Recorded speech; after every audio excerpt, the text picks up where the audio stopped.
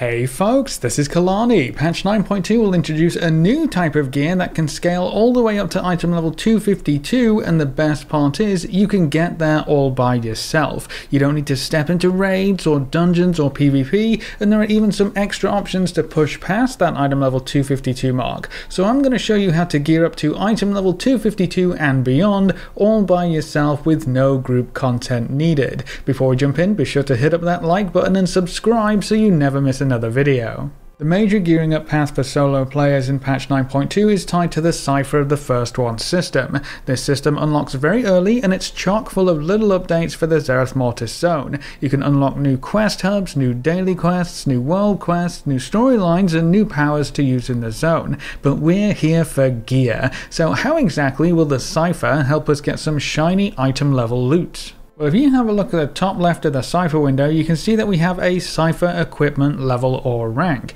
This starts at 1 and it maxes out when we reach level 6 Cypher equipment. That level or rank dictates what item level gear rewards you can get from the Zereth Mortis zone.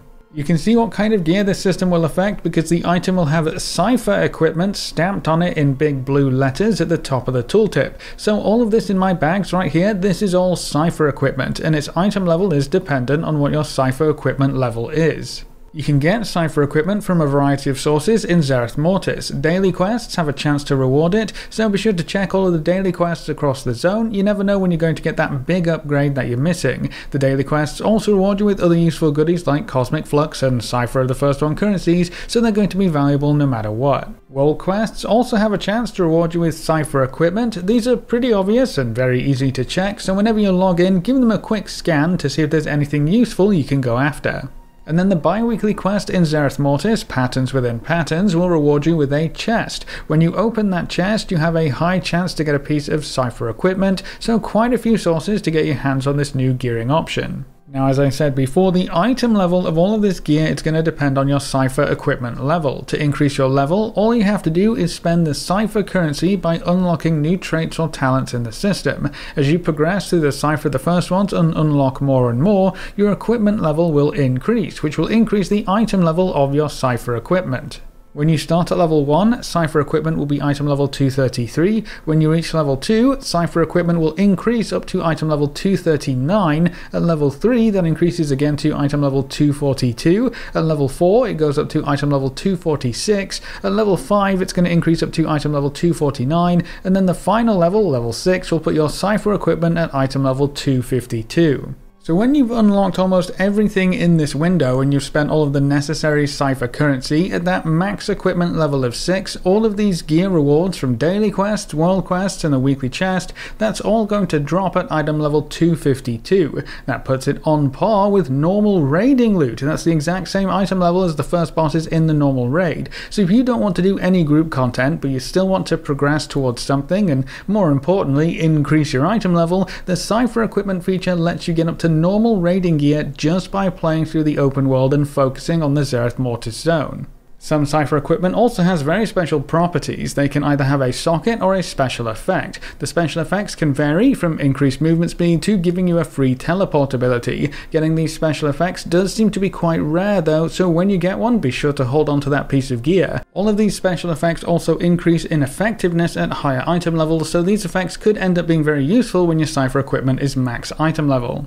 The sockets are very special though. You can't just place any old gem in there. You'll need to do a bit of research in the Cypher the First One system to unlock the ability to turn an enhancement console into a gem. These will make more sense when you get into the patch for real and unlock them, but basically there are consoles around the zone you can interact with. They offer you a choice of temporary powers, very much like Anima Orbs in Torghast, but when you unlock the ability to turn these effects into gems, you can then slot them into Cypher equipment, giving you those effects permanently. This has the potential to turn Cypher equipment into an absolute monster powerhouse of a gearing up system. The only catch is that these powers only work in Shadowlands open world zones, so you won't get the benefit from these powers in dungeons, raids, or PvP, but that should be fine if you aren't that interested in group content anyway.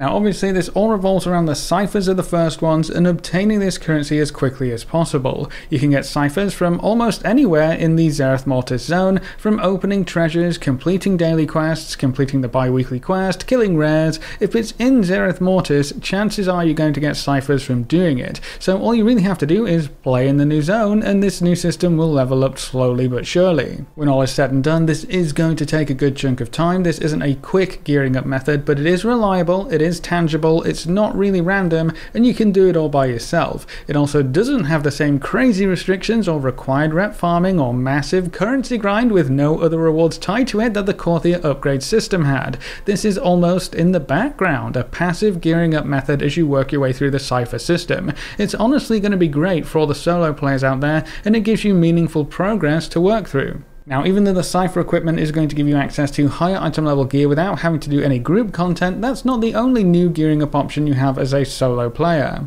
The new world boss in Zereth Mortis will drop item level 259 gear, and there seem to be quite a few slots covered depending on your armor class, so if you get lucky, you could have some easy item level 259 gear to go along with everything else. There are also some new crafters marks that let you craft item level 233 gear. That's pretty high if you didn't do any gearing up in patch 9.1 and can help fill in some of the gaps while you work on the Cypher of the first ones or some of the other gearing up options in this video. Then you can also craft and equip one piece of 262 crafted gear with the crafter's mark of the first ones. Any piece of gear crafted with this mark becomes unique equipped, so you can only wear one of them at a time, but having access to 262 item level gear is going to be huge, even if it's only in one slot. This is going to be perfect for getting a nice ring or an offset piece with the exact stats that you want.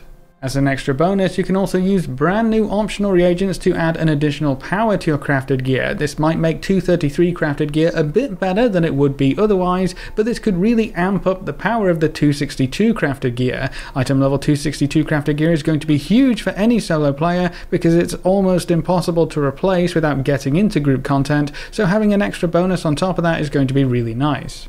If you're looking for something to upgrade your gear while you work on the Cypher of the first ones, there's also the Sandworn Relic vendor. Sandworn relics can be found in the Endless Sands area of the new zone. It's full of elites and much harder to navigate, but if you can get your hands on some of these Sandworn relics, you can trade them in for 246 gear. Almost every slot is covered by this vendor, so until you can unlock rank 4 in the Cypher equipment system, the Sandworn relic gear might help you gear up as well. This gear also has a unique transmog, and it's all themed after the brokers themselves, so if you've always always wanted to run around looking like a broker, these sets are going to be perfect for you. Sandworn relics mostly come from killing rares in the Endless Sands, completing daily quests in the nearby hub, and opening treasures in the same area.